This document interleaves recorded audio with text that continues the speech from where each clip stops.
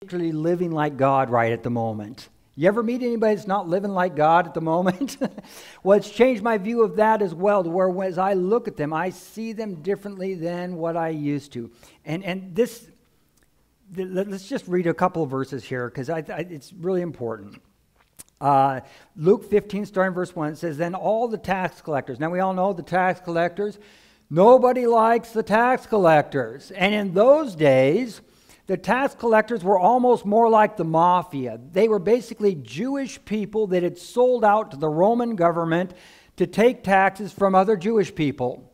And they weren't just taking taxes, they were, they were actually adding on more taxes to line their own pockets. And everybody knew it, but they couldn't do anything about it. So the tax collectors were highly hated. In fact, they said that most tax collectors had bruised shins all the time because if you walked by one, you kicked them and you spit on them. Nobody liked the tax collectors. And yet it says right here, then all the tax collectors and the sinners. That's a pretty big group of people right there. All the tax collectors and the sinners drew near to Jesus. Wow. You would think all the religious people would have been, oh, yeah, here he is. No, it was the tax collectors and the sinners that were drawing near to Jesus. Amen. They were the ones that saw life. They were the ones that saw help. They were the ones that saw that, that this, is, this is a good God here. They saw something different that they wanted. And they said, This, this can change my life. So those were the people that drew near to him. And in verse 2, it goes on to say, And the Pharisees and the scribes, those were the guys that should have known who Jesus was. Those were the guys that read their Bible every day. Those were the guys that prayed every day. Those were the guys that tried to do everything exactly right. Right? These were the most, these were the religious of the religious people. It says, but the Pharisees and the scribes complained, saying, This man receives sinners and eats with them. He doesn't just tolerate them, he eats with them. And in, in Jesus' day, when you ate with somebody, it was a covenant act. It says, I am aligning myself with you. Wow, Jesus, the Son of God from heaven, is down here on earth and he comes up to the worst of the worst and he says, You know what? I love you and I'm aligning myself with you. Not with what your actions are, but with you, who I created you to be who I intended you to be from the beginning of all things. From before the foundations of the earth, I know who I created you to be, and I'm aligning myself with you.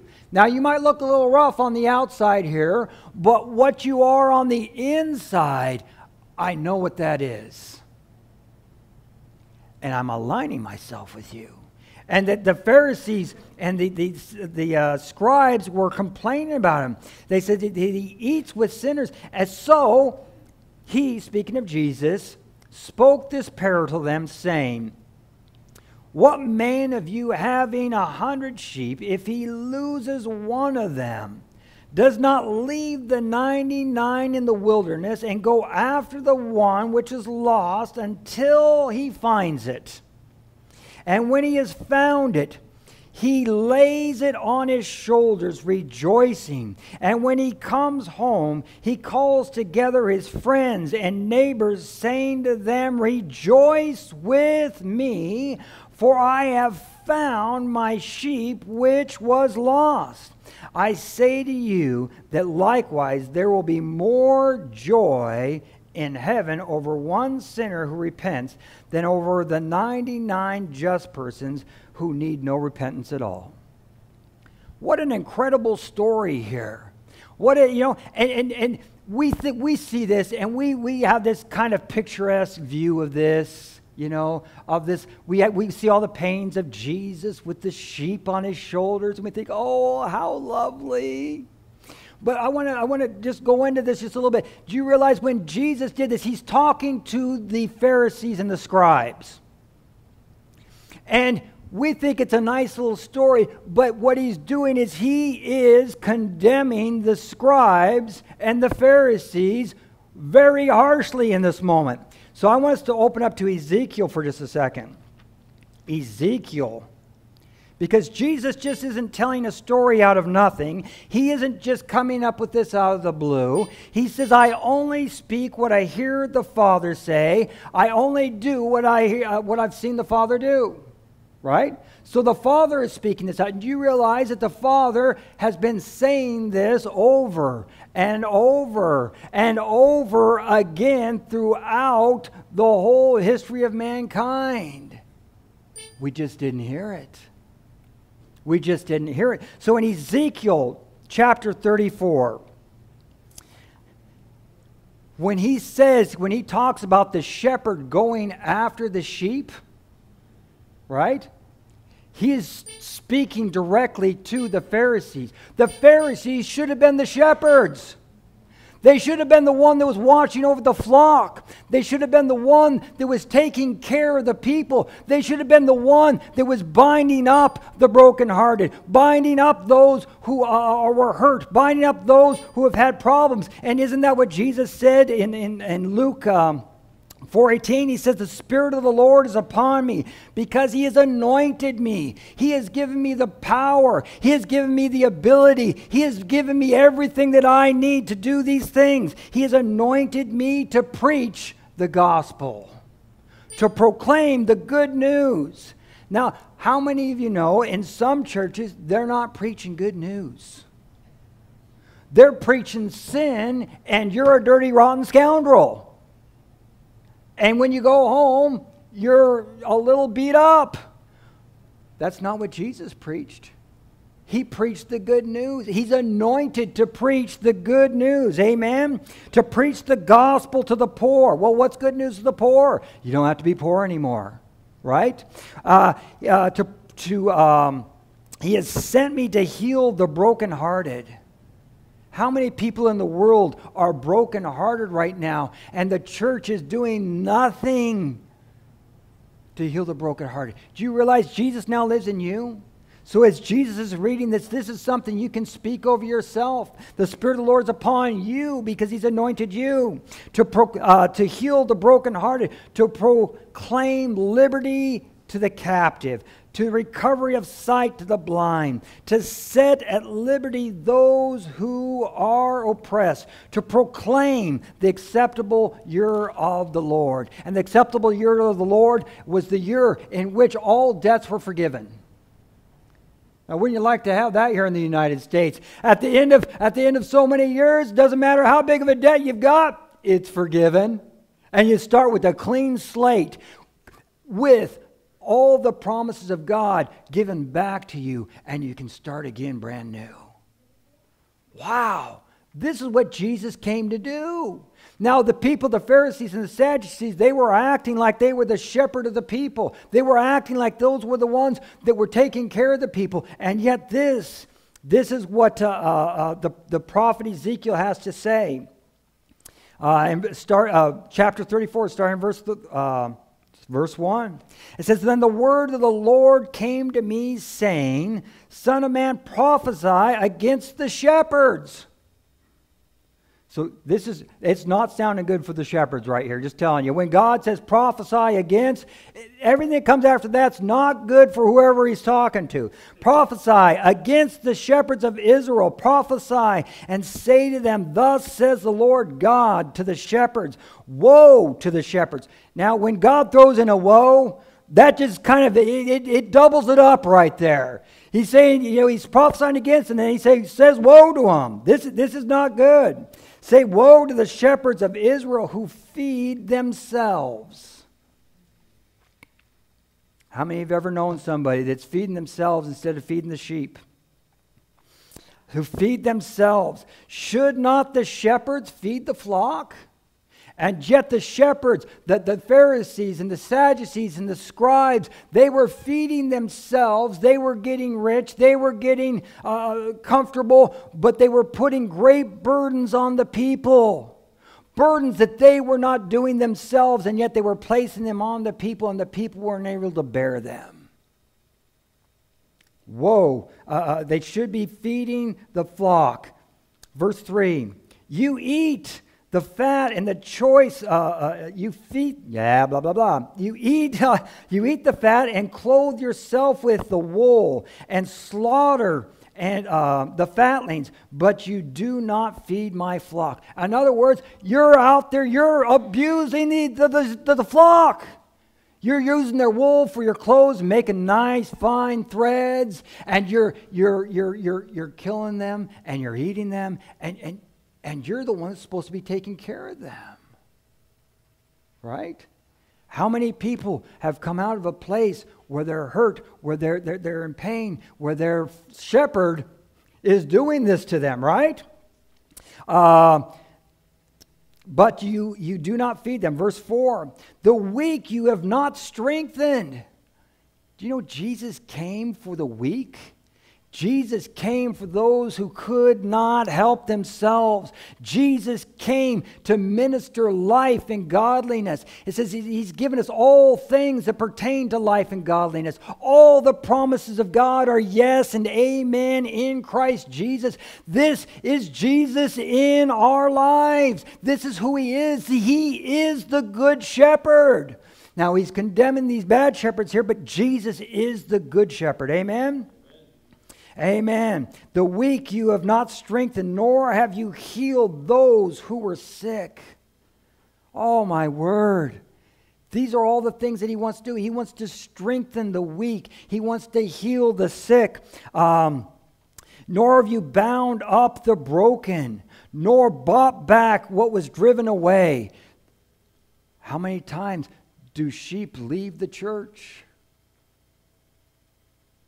And the shepherd goes, Adios, don't let the door hit you in the keister on the way out, right? No, the shepherd goes after the sheep.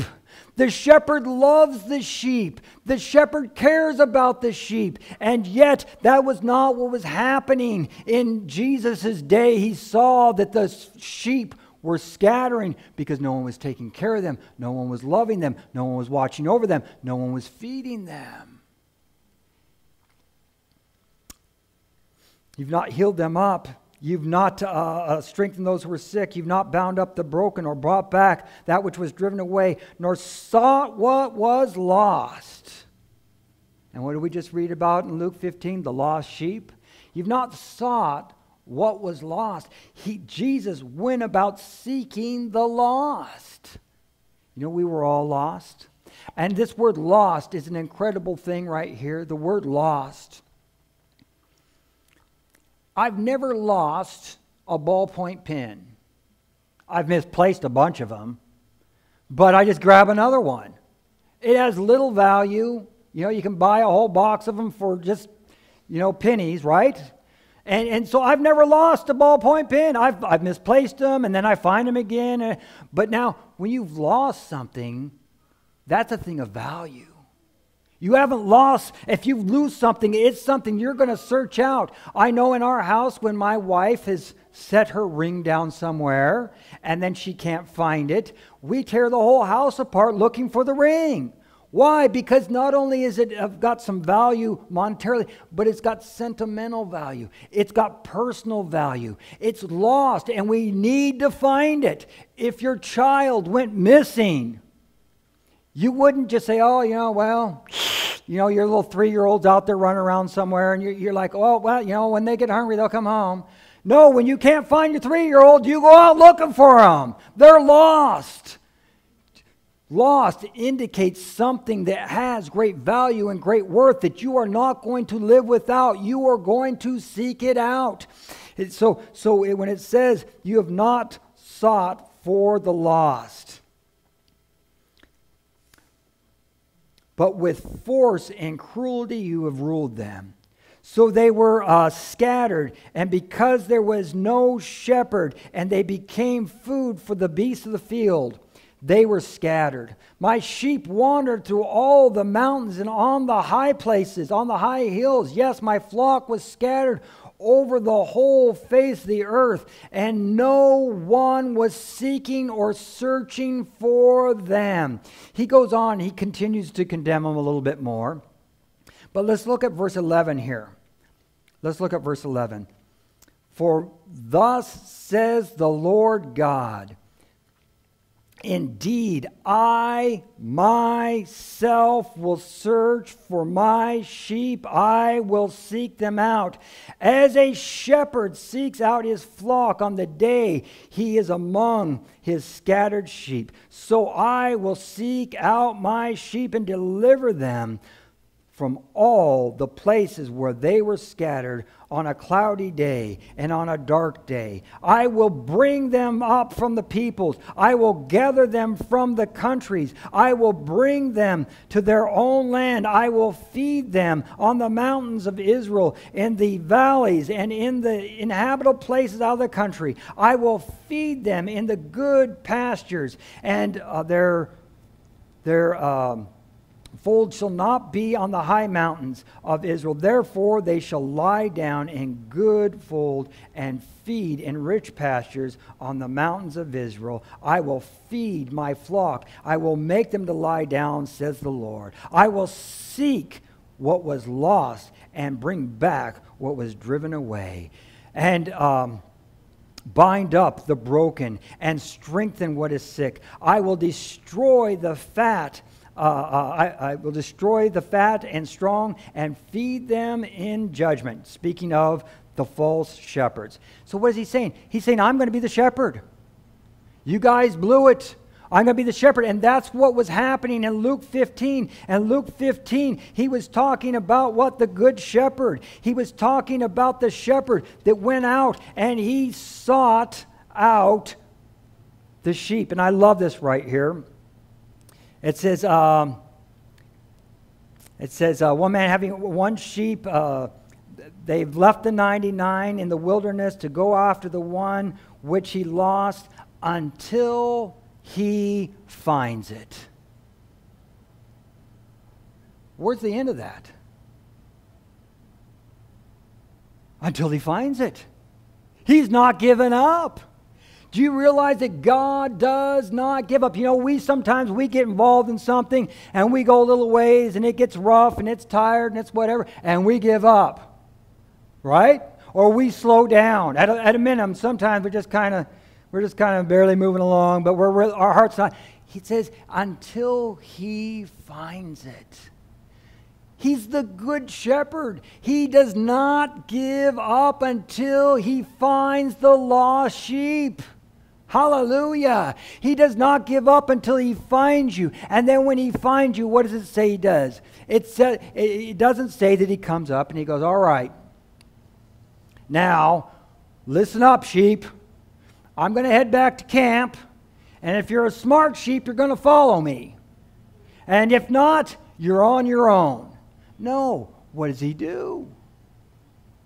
He picks you up. He puts you on his back. He bears the weight of you on his shoulders. Hallelujah. He's a good shepherd. And you know what? There is okay, this is a this is an intimate thing right here. He's got the lamb laying over his shoulder. So his the shepherd's face is right here, the lamb's face is right here. And he's talking to him. He's saying, Oh, lamb, I'm so glad I found you. Lamb, I love you so much. Oh, I'm so glad I found you before some harm came to you. You know, and, and, and when he found that lamb, you know that he picked him up and he's looking him over, making sure that he's healed, he's whole, he's well, he's not scratched up, that no animals got to him, that, that, not, that he doesn't have a broken leg or anything. He's taking care of him. He did not stop until he found him because he loves him. Amen? Amen. And, and so then when he gets home, I love this fact. When he comes home, he calls together his friends, his neighbors, saying to them, Rejoice with me, for I have found my sheep which was lost. I say to you likewise, there will be more joy in heaven. He's rejoicing. Do you realize God has great joy in you?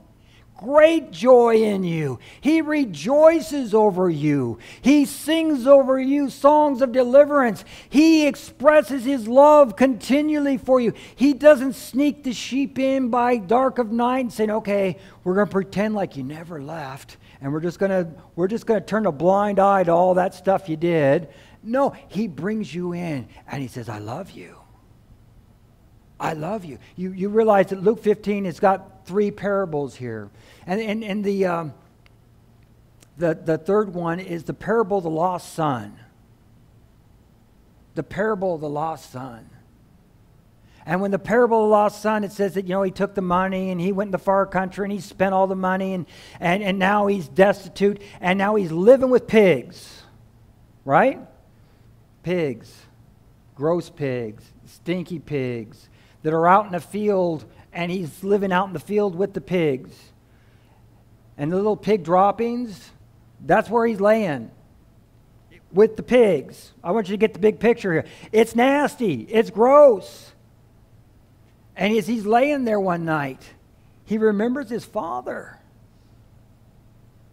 And he says, You know, even my father's hired servants have more than enough. And it says, and he came to himself.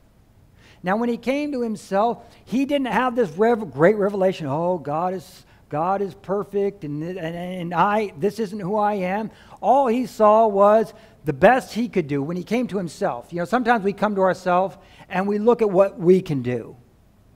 The best he could see himself doing was becoming a slave. He says, I'm going to go back, return to the Father, and I'm going to say, I've sinned against heaven and against you, and I'm no longer worthy to be called a son. But if you would make me a hired servant, a day laborer, a guy that comes, and when you need extra help, you hire me and, and you pay me a little bit. And I know that you feed me and you'll take care of me in that moment. That's the best he could see.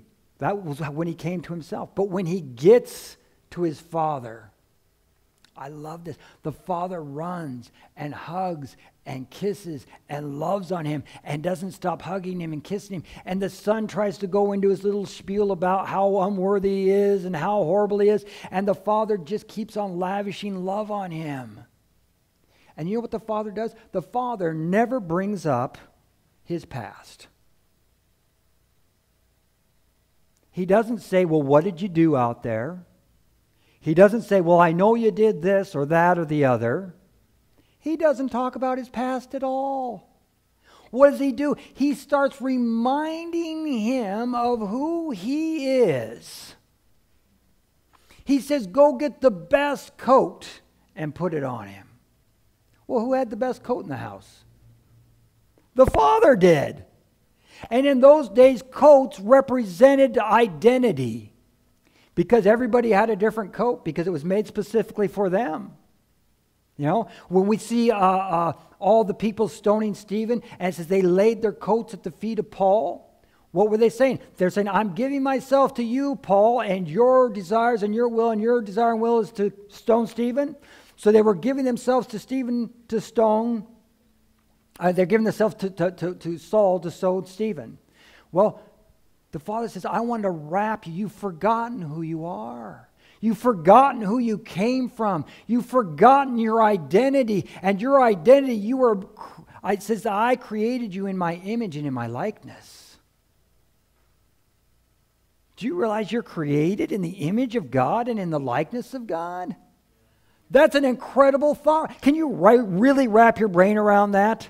I'm glad I'm growing more and more in that every day. I'm in his image and in his likeness, and so are you. The Father's saying, You have been looking at all this outward stuff. I want to surround you with my identity to remind you, you are my son. You come forth from me. You're of my lineage. You're of my likeness. You're of my kind. And I want you to remember that. When everybody looks at you now, they're going to know, oh, He's the Father's son. He isn't just some bum trying to beg money, He's the Father's son. And when you look at yourself, you should see yourself wrapped in the Father's coat. And everybody says, He's the Father's son. Hallelujah. And so he gives him identity back. The second thing he does is he says, put a ring on his finger. Ring was a signet ring that represented authority, when he, which meant he could go into town and he, he'd say, All right, I want to buy this and this and this. And they go, Well, what makes you think you can do that? And all he's got to do is show the ring. I've got the power and the authority to be about my father's business. The father never cut him out. The father never excommunicated him. The father never sent him away. The father says, I still want you to be a part of everything that I'm doing. Do you realize God wants you to be a part of what He's doing in the earth today? This isn't a demand that you have to make this happen. This is you get to be a part of what God's doing. What God's doing is pretty cool, right? He's healing people, He's setting people free, He's, he's, he's loving on people, and you get to be a part of it. So He says, put a ring on His finger and remind what was He doing? Remember, we talked about word remember He's reminding him. He is planting the seed back inside of him that says, This is who you are. You've forgotten. You've left it in the past. You squandered it all away. But I'm reminding you who you are in this very moment. He didn't bring up his past, he brought up his present and his future. Amen? Right now, this is who you are, and this is who you will continue to be because I am your father and I love you. The next thing he says, he says, put some sandals on his feet. Put some sandals on his feet. Slaves walked in the dirt, but sons walked on top. Hallelujah. You're a son. You're a son of the Most High God. You are a child of God Almighty, creator of heaven and earth. And we've lost sight of that. And we look at that as something uh, far off in distance, or maybe when we get to heaven and we're walking on streets of gold, then, maybe then. No, right now. You are his son, and he wants you to walk above the dirt and the filth of this world and say, I am an overcomer. I am victorious. I am able. To, I'm above and not beneath. I'm the head, not the tail. I am victorious over all the situations and circumstances of life. Amen?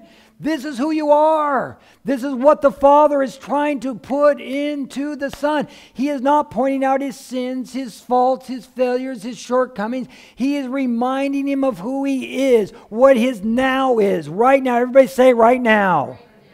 Right now, I am the, a child of the Most High. Amen. Right now, you are. Not when you do enough good works not when you've, not when you've got your whole life squared away. Not when you've uh, uh, prayed enough or read enough. Right now, you are a child of the Most High God. And He is wanting to remind you of these wonderful things. Glory to God. Hallelujah. And it's the last thing He says go kill the fatted calf because we're going to celebrate. We're going to have a party. We're going to celebrate that you were lost and now you're found. That you were forgot who you were, that you squandered all that I have given you, but now you've come back and now you're able to participate in all that I have. Wow. Can you imagine participating in all that God has? Can you imagine participating in 10%? Of what God has. Right? I mean, I mean, I, I still can't quite wrap my brain around participating in all his power, all of his authority, all of his will, all of his desire for my life. Oh my word, that's huge. So when he does the, the, the he, when he takes the calf and, and, he says, he says, go slaughter the calf. What is he saying? He said he wanted to remind the son, I want you to know we are in covenant with one another. There's nothing ever going to break that covenant. You know, uh, we understand contract, right? Contract is if you do this, then I will do that. And that's the way we look at God too many times. We have a contract with God. All right, God, I'm going to read my Bible, I'm going to pray, and then I'm going to go out and hand out tracts, or I'm going to do whatever good works I'm supposed to be doing, and then you're going to do some things for me, right? And that's the way we try to work with God. God says, No, I'm in covenant with you. And covenant is this right here. In the marriage covenant, what do we do? I say, I love you and I give myself completely and totally to you. Everything that's mine is yours now, even unto death. God was in covenant with us, even unto death. But more than death, unto resurrection life. Hallelujah. Under resurrection life. He is in covenant with you unto death and then resurrection life to where now He lives inside of you. He's in covenant with you. He says, I've given you all. All. Everybody say all. all. Do you know what all means in the Greek? All. Amen. He has given us all things that pertain to life and godliness. All the promises of God are yes and amen in Christ Jesus. And you know what? He didn't just say, I'm giving this all. Do you remember when uh, Jonathan and David made a covenant with each other? It says they swapped instruments. Uh, uh not, not plain instruments, but, but uh, bows and swords. They swapped their, their, their things of war. They swapped their coats. They swapped everything that they had. Now, you remember, David was just a, a shepherd boy, and Jonathan was a prince. And yet, Jonathan says, I give you everything that I have. And David gave Jonathan everything that he had. And they were in covenant together. This is what's mine is yours, and what's yours is mine. And now we go forward and we're stronger together than what we are apart. Right? This is what God is saying to us. I am in covenant with you. And I want to remind you that because, as the Father, I'm in covenant with you, my Son, everything that's mine is yours. Everything that's mine is yours. Man, you ought to wake up every day and say, Thank you, Father, that everything that is yours has been given to me. That I'm in Christ Jesus and Jesus is in me and we've been made one together. And uh, uh, the other night we were talking a little bit, and I, I love the word in, in in the New Testament. It's such a powerful, it's a tiny word, in. And um, that word in means a fixed place in time or space. And because it's fixed, it's at rest. Hallelujah. So when it says, Christ in you, the hope of glory, Christ is in me and he's at rest in me. He's not looking on how to get out. He's not thinking, oh my word, Jon, you really did it this time. Where's the, where's the escape hatch? And he's not trying to figure out how to get in anymore, right? He is at rest in me, which means he likes me. He's not agitated in me. You know, have you ever been in a place and you're you you kind of a little nervous being there and you're just you're bouncing or you're pacing back and forth or you're whatever? That's that's not Jesus. Jesus has set his home inside of you. He is in you. He is at rest in you.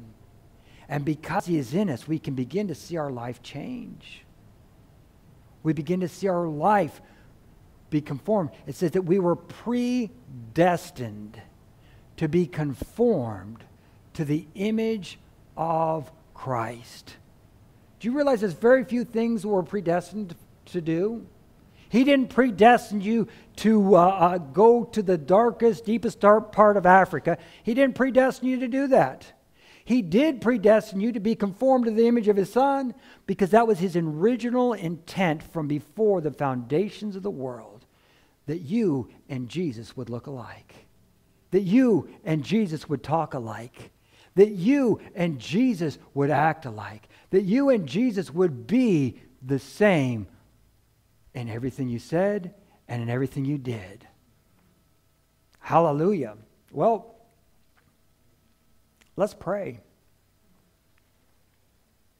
Hallelujah. Father God, we just come to you right now, and we're just so thankful that you are a good, good Father who loves us.